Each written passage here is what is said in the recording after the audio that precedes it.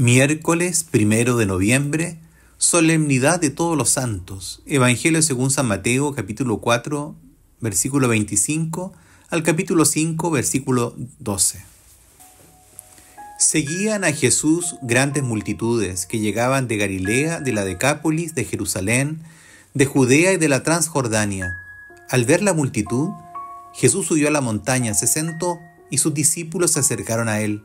Entonces tomó la palabra y comenzó a enseñarles diciendo, Felices los que tienen alma de pobres, porque a ellos les pertenece el reino de los cielos. Felices los afligidos, porque serán consolados. Felices los pacientes, porque recibirán la tierra en herencia. Felices los que tienen hambre y sed de justicia, porque serán saciados. Felices los misericordiosos, porque obtendrán misericordia.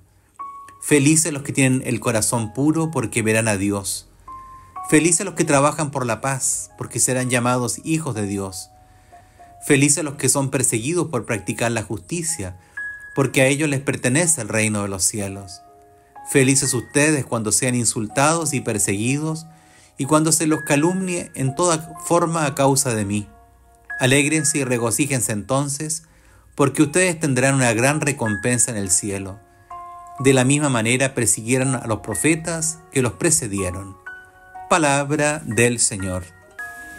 Eco del Evangelio.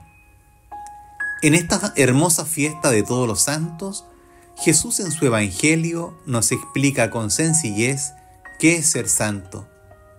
Lo hizo al mostrarnos el camino de las bienaventuranzas.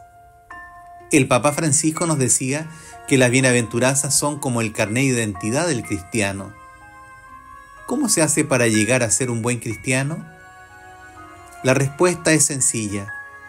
Es necesario hacer cada uno a su modo lo que dice Jesús en el sermón de las bienaventuranzas. En ellas se dibuja el rostro de Jesús nuestro Maestro, que estamos llamados a transparentar en lo cotidiano de nuestras vidas. Ser feliz, o bienaventurado pasa a ser sinónimo de santo. Feliz es la persona que es fiel a Dios y vive su palabra. Alcanza en la entrega de sí la verdadera dicha. Es ser santos por el amor. Caminamos hoy con nuestra fe a contracorriente respecto a lo que nos ofrece la sociedad.